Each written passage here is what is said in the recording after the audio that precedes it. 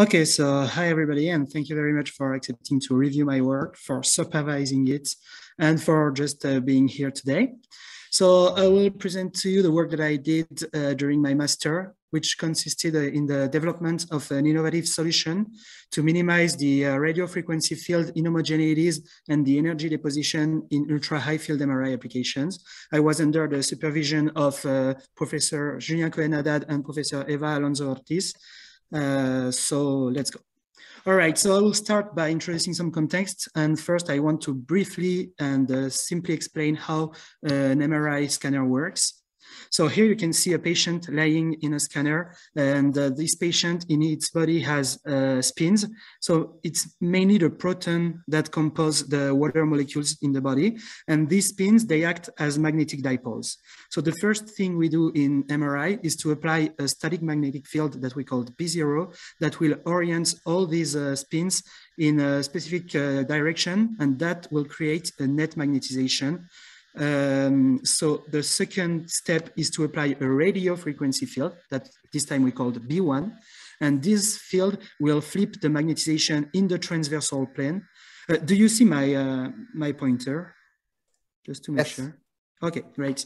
So uh, the spins will be flipped in the transversal direction and they will uh, generate this MR signal that we measure with uh, receive coils and that's what we're going to use to um, to reconstruct our images. So as you can see here, uh, uh, once we stop applying the B1 field, the, the protons will slowly go back to their equilibrium position along B0. And uh, at some point, there will be no more MR signal. So we'll have to start over again if we want to acquire another image. So in this work, I will mainly uh, talk about the B1 field because that's the one I've been uh, working with.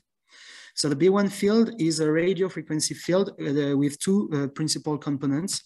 Uh, it's usually divided between uh, B1 plus and B1 minus. And B1 plus uh, is more related to uh, the, the field that flips the spins in the transverse plane, while B1 minus is more about the re-emitted signal that we use to reconstruct the image. So to efficiently flip the spins, uh, the B1 frequency must correspond to the speed of precession that the spins have in the body, which is called the Larmor frequency. And this frequency at which the spins precess is uh, omega naught, and it's, it's um, equal to gamma times B0, where B0 is the strength of the main magnetic field, so the scanner's strength.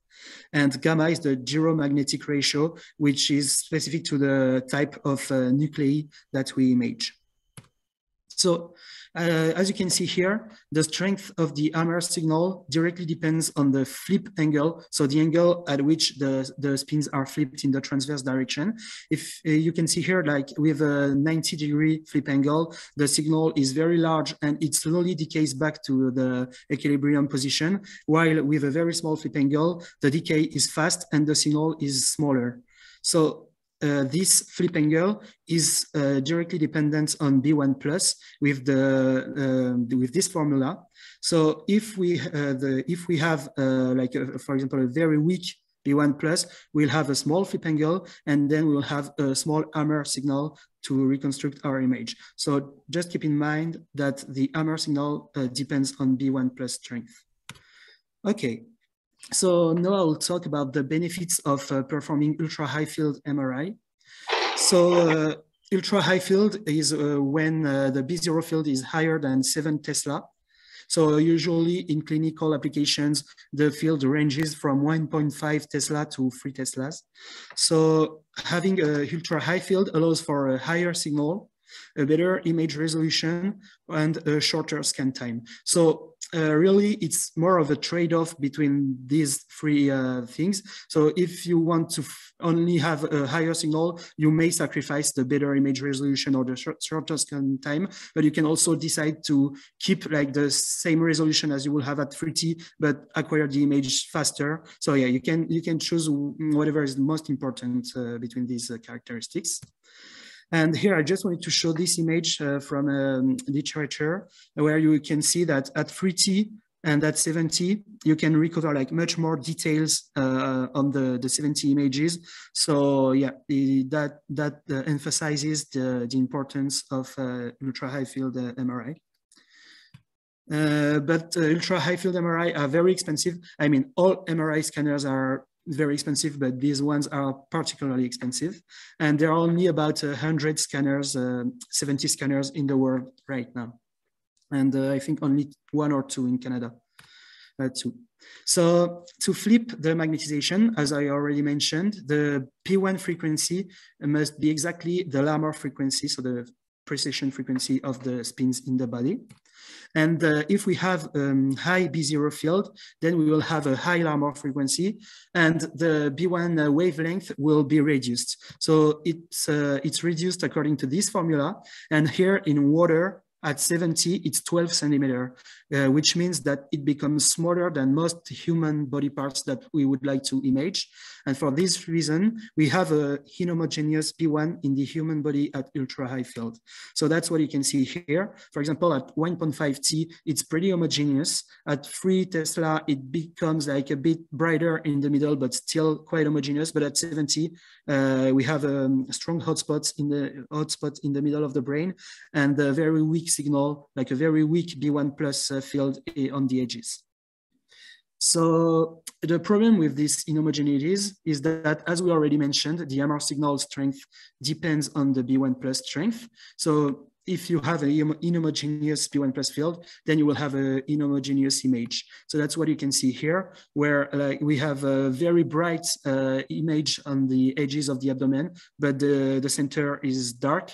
And here, for example, there's the region that is completely dark and you cannot see any detail. And like that, that can be a problem when you want uh, like diagnostic information in this particular region.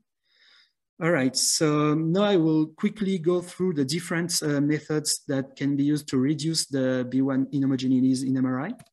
So you can perform uh, post-processing of the images. You can also use dielectric padding to, um, to uh, improve the penetration penetration of the RF field in the body. Uh, it is called passive shimming. You can work on the pulse design. So the RF pulse uh, design, you can change its, its shape to have it more homogeneous.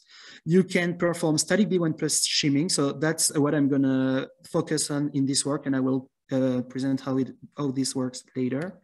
And you can perform transmit sense, which is kind of a mix between static B1 plus shimming and pulse design.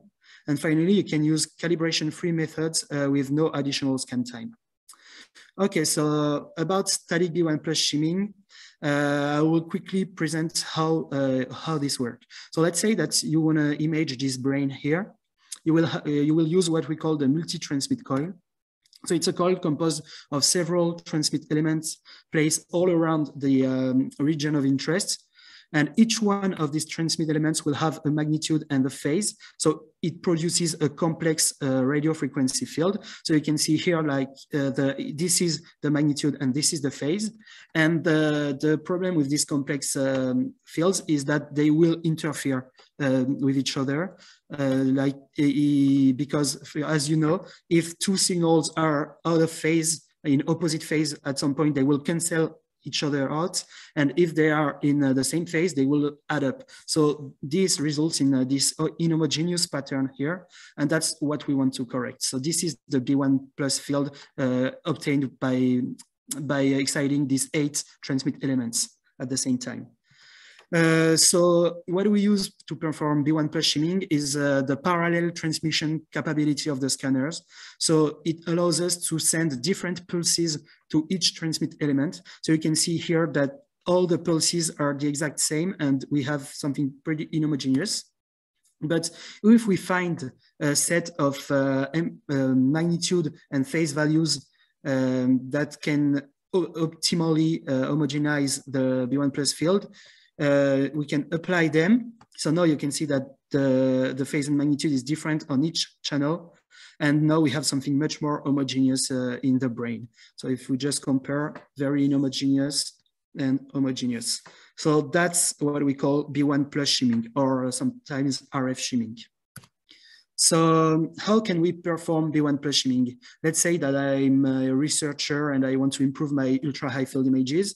Well, the thing is that I cannot find any open source tool available to perform B1 plus shimming directly at the scanner. Uh, and uh, all research groups that, that, do it seem to have their own code and uh, they don't necessarily share it because they, because they simply don't necessarily want to. So that brings us to my research goals, which were to implement uh, an offline B1 plus shimming uh, toolbox with different algorithms. Offline means that we won't be doing that directly on the scanner's console, but on a computer that is uh, on the side in the, uh, in the MRI room. So then I want to include these uh, algorithms in Shimming Toolbox, which is uh, an open source software that we developed in NeuroPoly. Uh, we'll come back to, the, to that later. And finally, I want to perform in vivo tests um, by uh, doing some RF shimmed spinal, spinal, so B1 plus shimmed spinal cord imaging at 7T. Okay, so I will briefly present the main challenges uh, that I had to face. So first one is the scan time, because as I already mentioned, MRI scanners are rare and expensive. So the scan time is very precious if, if you want to scan a, a lot of patients uh, and to, to be able to di diagnose a lot of patients. So when we do uh, B1 plus shimming, we have the first step, which is the B1 plus mapping. So we want to measure the RF field uh, generated by each transmit element that we have. Then we want to find the optimal shim weight, so the optimal phase and magnitude values that will uh, homogenize our RF field. And finally, we want to apply the shim weights to the scanner and to run uh, another sequence, uh, imaging sequence with, um, with the optimized shim weights. So this implies uh, additional scanning time. And for my uh, B1 Plus um, algorithm to be usable on the scanner, uh, it needs to be as fast as possible. So that was one of the main uh, things to keep in mind uh, during the implementation. A second uh, challenge um, related to ultra high field MRI. Gaspard, do you hear me? Yeah. Um, we stopped being able to hear you. Do you mind just pausing oh. while we sort it out? Yep. Okay, so it's clearly the speaker on that computer? Is it an external speaker? Hmm? I can still hear you on my. Oh, did it drop internet? Oh. Yeah, I can still hear you as well. Yeah. Okay, so yeah, they have a problem in the NeuroPoly lab. And now we've disconnected on on that computer. Think, uh, yeah, we let's let's not uh, let's let's each. Okay. Okay. Okay. Uh, sorry about that, Gaspard. You can continue. Okay. Uh, so yeah, as I was saying, okay, there's uh, there's an echo. Okay. So the second main challenge of ultra high field MRI is the heating of the tissue, because um, as you might know, MRI using uses non-ionizing radiations. Yes, but I'm really sorry. Do you mind going back two slides because we missed about two slides? This one. Stop. Okay. Thank you. Okay, so the main uh, research, research goals uh, of my project were uh, to implement offline B1 plus shimming algorithms. Offline means that we are going to perform the RF shimming not directly on the scanner's console, but on a laptop uh, in the MRI room. The second goal was to include these algorithms uh, in Shimming Toolbox, which is an open source uh, software that we developed uh, within NeuroPoly. And finally, I wanted to test these algorithms in vivo for spinal cord imaging at 7 Tesla. So the main challenge uh, that I had to face was the scan time, because as I already mentioned, uh, MRI scanners are rare and expensive. Yeah, is somebody speaking? Okay, uh, so scan time is very precious because if you want to diagnose a lot of people, you will have to scan them fast. So the main steps of the B1 plus shimming process are the B1 plus mapping, which is the measurements of the different uh, RF fields produced by the transmit elements. Then we have the shim weights optimization. So finding the phase and magnitude value that will homogenize our uh, RF field. And finally, applying these shim weights to the scanner and perform uh, imaging with the optimal shim weights. So this implies additional scanning time. And if we want our B1 shimming solution to be usable on the scanner, we have to make it as fast as possible. So that's uh, that was the main uh, thing to keep in mind. The second uh, challenge of ultra high field imaging is the heating of the tissue. So as you might know, MRI uses non-ionizing radiations. So unlike radiography, CT, or nuclear imaging, which means that it's not uh, directly harmful, it won't ionize your, uh, your cells and the molecules in your body. But uh, still, RF pulses may deposit energy in the tissues, and this might cause them to heat uh, a bit like a microwave. It's kind of a huge microwave, but less, less powerful, hopefully. Uh, so if we modify the RF distribution by changing our shim weights, then we may produce hotspots and we might uh, we need to, uh, to keep that in mind when we optimize our shim weight so that we avoid this scenario. So to measure the energy deposition, uh, we use a metric that is called the specific absorption rate.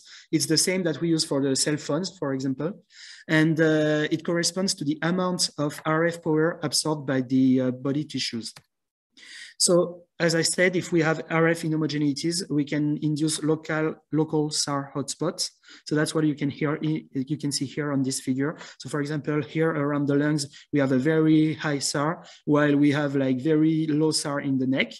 So uh, when we want to control uh, the why we want to control the SAR, it's because SAR uh, scales with B0 square. So at 7T with a B0 of seven Tesla, it's five times uh, more important than at 3T. So that's why it's so challenging at, uh, at seven Tesla.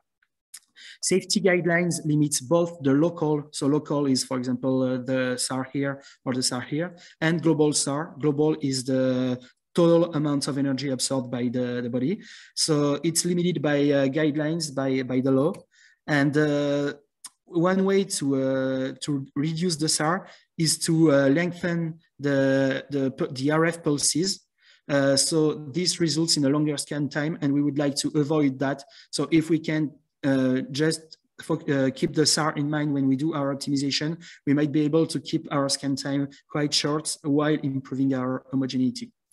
So the next thing about the SAR is that we cannot directly measure the SAR uh, when we image a, a, patient. So we, we uh, determine the SAR values with simulations and uh, these simulations are not patient specific. So we have simulations done with human body models, but they don't exactly um, relate to the actual uh, human being that we will image. So we use safety factors to uh, account for like the modeling errors and the anatomical uh, variability of human beings. All right, so now I will uh, talk about the implementation of uh, my Shimming Toolbox B1 plus Shimming algorithms. So Shimming Toolbox is an open source software that, uh, that is dedicated to MRI field homogenization. So shimming is the word that we use to, uh, to um, to talk about homogenization, so the homogenization of the magnetic fields. So it was initially dedicated to perform B0 shimming, uh, so uh, homogenization of the main static uh, magnetic field. Uh, but as ultra high field is becoming more popular, we thought that it would be great to include B1 shimming uh, features in Shimming Toolbox. So Shimming Toolbox is, uh, is implemented in Python and uh, the shim weights, as I already mentioned, are complex values because we want to find uh, magnitude and phase values that will optimize our fields. And uh, in Python, there were no, uh, no efficient library to perform this non-convex optimization problem with complex values. So what I did is just that I uh, separate the, I separated the real and imaginary components of my shim weights and perform the optimization on this real uh, vector. And that works uh, surprisingly well. So I was really happy with that.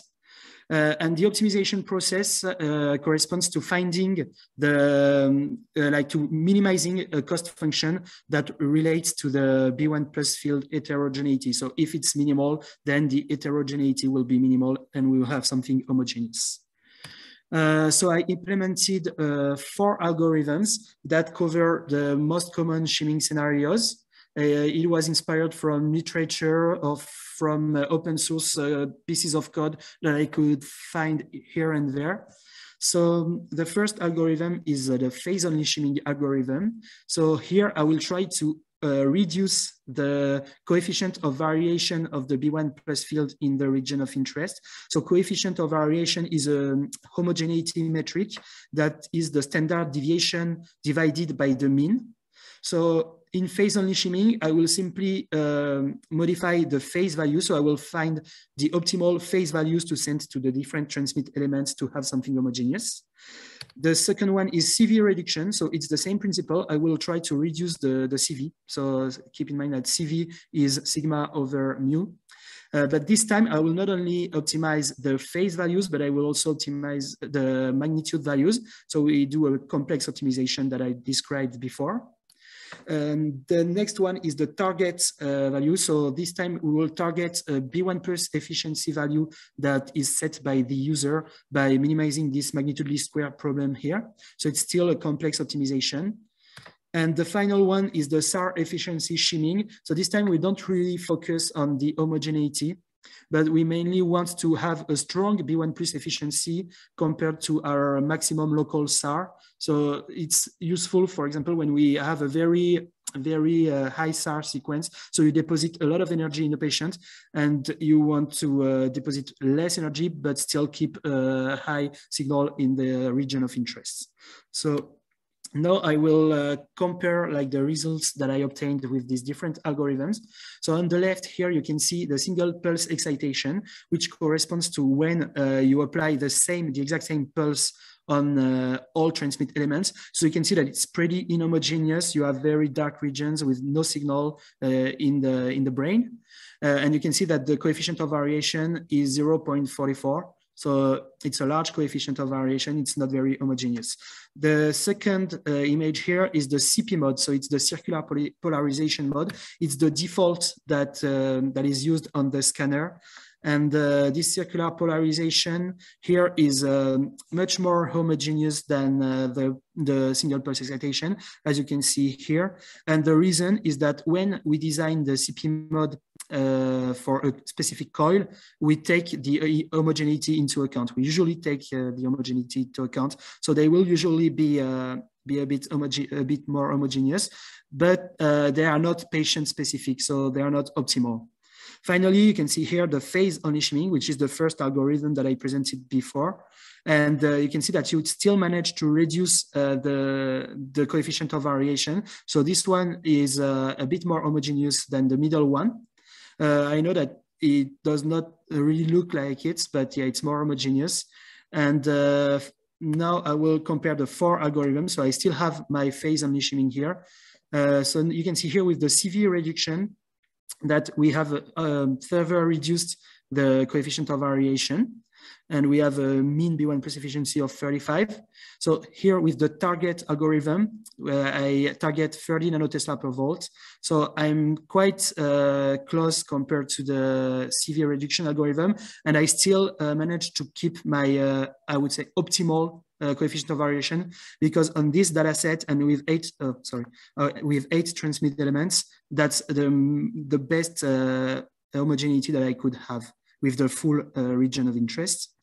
And finally, you have the SAR efficiency. So this time you can see that the CV is not great at all, and which is normal because we don't we don't aim at um, at a large at a small CV. Sorry, we just aim at having a, a large SAR, uh, large B1 plus efficiency while keeping the SAR very low. So that's what we do here. And uh, yeah, I still have the CP mode values uh, for comparison. So just uh, notice that the, this uh, region of interest is very, very large. Like I have the skull, I have the full brain. And usually if you want to shim, you will try to shim over smaller regions. Okay, so how did I do to limit the healing of the tissues? So usually um, when we want to limit the, the SAR deposition, uh, we affect to each 10 gram of tissue uh, matrix that will be used to compute this, the maximum local SAR. And uh, this SAR matrix is determined by, um, by uh, simulations, as I mentioned before, and we will use that during our, our optimization. We have a lot of SAR matrices because we have a lot of uh, 10 gram uh, pieces of tissue in, uh, in our body. So what we do is that we uh, gather these SAR matrices into subgroups. So that's what you can see here. Like similar matrices will have the same color. And we call these groups virtual observation points. And uh, on Siemens scanner, uh, something is good. It's that you can find these virtual observation points uh, in a specific file and you can just fetch them and put them on your uh, computer site. Uh, and you can use them with Shimming Toolbox when you want to constrain your local SAR. So uh, I also uh, use a SAR factor uh, for uh, to for my constraint. So the limit maximum SAR will be SAR factor times the maximum SAR local of the phase only shimming. So I will do a phase only shim. I will not touch the magnitude. So I will keep like something similar to the CP mode in terms of uh, SAR deposition. Should be similar. And then I will just uh, use a SAR factor that gives a bit more freedom to the optimization process. Uh, and if no VOP file is provided by the user, I will simply keep the norm of the shim weights to one. All right, so here you can see the effects of the SAR factor. So for example, if you have a 1.1 SAR factor, so you just uh, exceed the SAR, the SAR of the phase only shimming by 10%, uh, you see that the mean efficiency would be 29 nanotesla per volt. But if you go a bit higher and higher, you will see that your, uh, your B1 plus efficiency will be higher, so we'll have a better signal, and you can still keep the same uh, homogeneity with a CV of 0.21. So no, another feature that I wanted to have in my uh, code was to the possibility to shim other smaller uh, regions of interest and particularly other segmented regions. So uh, when you shim over small ROI, but you keep the same number of transmit elements, you will have a higher degree of freedom for your homogenization process. So Shimming Toolbox is compatible with um, external segmentation tools because it's uh, it's like coded in Python, so you can have it uh, along other uh, other segmentation tools. We have segmentation tool that we developed at Neuropoly. And uh, here, for example, I used uh, the brain extraction tool, which is developed by uh, Oxford. And you, here you can see that you just keep the brain and you remove the skull out of your region of interest. And uh, here it's with the target uh, algorithm. And you can see that if you remove um, part of the region of interest, you can have something more homogeneous with a reduced coefficient of variation, and you can approximate the target uh, very slightly better in, in this case. And if you use a very small ROI, which is uh, here um, a square in the middle of the brain, so that's something you can do with Shimming Toolbox then you can see that we, you will be able to very closely approximate your target value and you will have a very, very small um, heterogeneity. So we, you have a small, uh, a low CV. All right, so the next step, once you have your, um, your shim weights, uh, so these shim weights are computed by shim Toolbox and they are returned in a text file. So it's like it's like this, it's the your screenshot of the text file. So you will have your magnitude values and your phase values and you will have to manually input them on the scanner. So that's how we do right now. And it takes time, especially if you have a high number of uh, TX elements because you will have to type all of these manually. Um, uh, yeah, another uh, thing that uh, we developed is uh, the integration of the Shimming Toolbox into a user interface. So we used the FSLeyes user interface and we implemented Shimming Toolbox as a plugin because it's a, it's a popular software for, um, for biomedical imaging. And you can see here that all the Shimming Toolbox features are in this uh, in this plugin here, and we, you have a B1 plus shimming in this tab. So you can switch between the different uh, the different algorithms very easily, and it's much faster than just type, typing the the CLIs in uh, in the terminal. So yeah, uh, I'm really happy with what we did with this GUI integration. And also what is great is that you can visualize your 3D uh, data and uh, go across different slices and with different uh, orientations. So that's really nice. All right, so now that I covered the Shimming Toolbox implementation, I want to talk about the in vivo tests uh, for spinal cord imaging. So spinal cord is part of the central nervous system. It is therefore a very important part of the, uh, the body. And uh, if you have like spinal cord pathologies, it might drastically affect uh, your daily life. If you have, for example, multiple sclerosis, or um, you won't be able to walk after like uh, a very long uh, um, sickness process. So the diagnostic is uh, very important because it can help us to detect the malady, the, the sickness early and to, to um, treat it. So uh, having the ultra high field benefits uh, can help improving this diagnostic. So you can see here uh, two images, two GRE images acquired at 3T and at 7T. And I think you can easily understand how uh, it would be easier to detect uh, some, um, some problems on the 7T images, which has a very, very much better resolution than the 3T images, which is very, uh, uh, very low resolution. Uh, so that's why we thought that spinal cord imaging could benefit from uh, B1 plus shimming. So uh, to uh, do our in vivo testing, we had access to a, a 7T Siemens Terra scanner uh, located at McGill, and which is the strongest in Canada. And we also were using a spine coil uh, that you can see here that surrounds the head and the thoracic, uh, the the top thoracic spine of the patients. So this coil was developed uh, by uh, Nibardo at NeuroPoly. And uh, here is like our uh, the, the, schematics of our, our transmit uh, dipoles. So you can see that we have eight transmit elements that will that we will control to do the uh, RF shimming. And we also have 20, 20 receive loops that will receive the signal to generate the image. So what we want to control in RF shimming are these eight elements here. So how do we uh, perform shimming with the shimming toolbox uh, tools? So first we acquire anatomical images. Then we acquire the B1 maps, so the B1 distribution that we want to homogenize. We transfer these images from the scanner to the computer. We segment the spinal cord using a spinal cord toolbox that is developed uh, by NeuroPoly. We optimize our shim weights with shimming toolbox.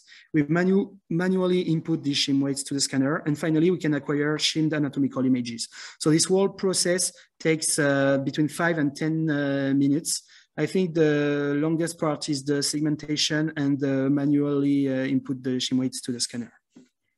Um, okay, so uh, now let's look at some results. So here you can see the results of the, like that's simulated results. That's the, um, the optimization. So when we compute our uh, optimal uh, our optimal shim weight, that's what we would expect uh, to have if like the patient has not moved at all, if we have a perfect uh, sensitivity. So it's it's the, really the results of the shimming, and you can see that the algorithm works very well because we decreased the coefficient of variation by 67% and uh, we were targeting 15 nanotesla per volt and our mean is 14.98. So I'm really happy with these results. This means that the software works uh, as expected. So if now we look at the uh, anatomical images and how they have been improved. So here you can see uni images, so very highly T1, um, T1 weighted images. And here you can see uh, GRE images that were used to compute the, the uni images. So you can see that, uh, oh yeah, uh, on these images, the spinal cord was manually segmented and I performed a co-registration using spinal cord toolbox to better compare uh, similar anatomical regions. Uh, and you can see that uh, on uni images, the coefficient of variation of the intensity has been reduced by 11%. And on GRE images, it has been reduced by 40%. So it's, um, it's very nice to see that it actually works with the in vivo uh, in vivo tests. And also, uh, I know that it remains a lot of uh, inhomogeneities, especially on the GRE images, but this is mainly due to the receive sensitivity of our coil, which is not perfectly homogeneous. So yeah, B1 plus is not the only thing that affects the image homogeneity. But uh, interestingly, you, you, can see that we recover signal at the thoracic level. So especially here, and even if you look outside of the spinal cord, we recover signal. So that helps us uh, like uh, get a better advantage of uh, our coil design. So that's uh, also really interesting. So we had some limitation in that study uh, because it was really hard for us to acquire good B1 plus maps. We had uh, most of the time a lot of masking in the spinal cord. And if we want to do RF shimming along the spinal cord, we need to have no masking in it. So for that reason, we could only successfully perform the experiment twice. And we would like to uh, perform that again uh, later to just uh, make sure that we will always get very good results. Uh, so now I will uh, discuss about the different uh, things that I I presented. So first about the Shimming Toolbox implementation, uh, it works uh, exactly as I intended it to. So I'm very happy with the, that part of the project.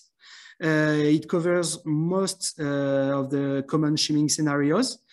I, I, I, know that some algorithms would be better suited for, for some research groups, but I cannot cover all very specific um, uh, applications. So I tried to be as uh, general as possible uh, to, to make it available to research group with no knowledge in this field. Uh, so far, the code is only fully compatible with Siemens scanner, which might be uh, problematic because uh, even if it's the biggest manufacturer, uh, there are a lot of uh, General Electrics and Philips scanner uh, out there. So we would like uh, B1 Shimming to be compatible with these scanners also.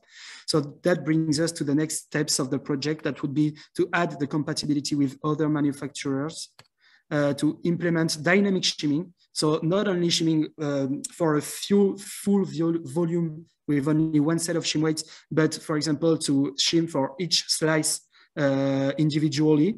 So every time we acquire a slice, we have a new set of shim weights. That's something that we do for B0. And uh, finally, we would like to find a way to automatically send the shim weights to the scanner because that would save time uh, and that would make the process um, very seamless to the user. About the spinal cord shimming, uh, the preliminary results are more than satisfying, but we still need more experiments uh, to, to validate them. And uh, I hope at some point we will be able to acquire good B1 maps uh, every time. Uh, it helps us better exploit the coils geometry than the CP mod. So that's also a great feature and that can be useful for other research group to, to compute CP mod or to perform, to perform B1 plus shimming. Uh, and the next steps on that project would be to perform dynamic shimming. So what I said, but so each slice of the spine could really benefit from the very small cross section of the spine on each slice to have something very, very homogeneous with a high degree of freedom. And to develop also universal pulses for the spinal cord. So these are calibration free method with no, uh, with no additional scan time. So that would be a great uh, benefit for uh, intra-field spinal cord imaging. So as a conclusion, I uh, successfully implemented a user-friendly open source B1 Shimming toolbox. Uh, the in vivo tests were successful, even if we still need to reproduce them. And finally, the, we think that I think that the spinal cord imaging at 7T may benefit from the B1 Shimming. So thank you all, and uh, I'm looking forward to your questions.